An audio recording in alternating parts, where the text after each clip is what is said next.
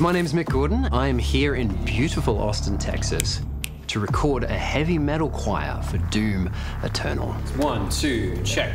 It's a continuation of Doom 16, but this really needs its own unique approach. We'd already discussed some chants that harkens back to the Slayer's origins. The idea of taking a heavy metal choir and having them do the chant for the Slayer was amazing. The big question is, right, how do you put together a heavy metal choir?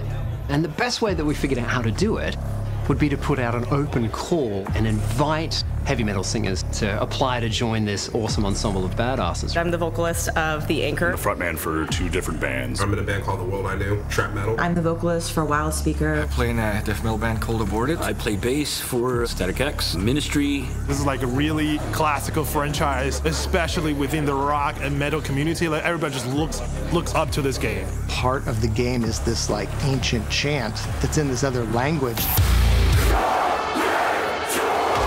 We want the whole game to feel like a heavy metal album experience.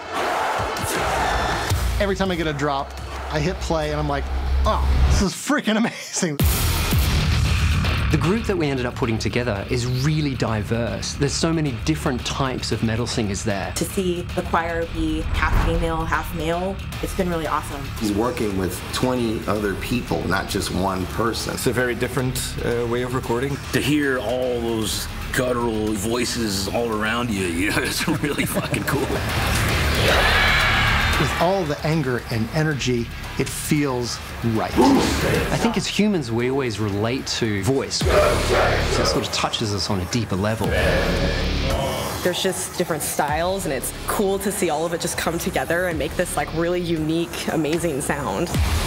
So there's a guy that does Mongolian metal, and I was just impressed at what he can do. Everything works together sound effects, music, gameplay.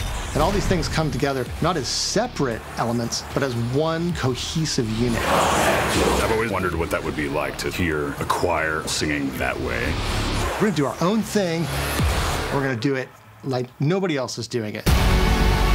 I had to be part of this, man. You kidding me? I grew up with Doom, and I got to play a little bit on the Atari Jaguar. I bought every edition, one of my favorite games of all time, and I love the soundtrack. To be able to contribute to something that might get people into metal. To me, it's a big honor. I'm so excited to hear the end product. Being part of the Doom soundtrack feels pretty legendary.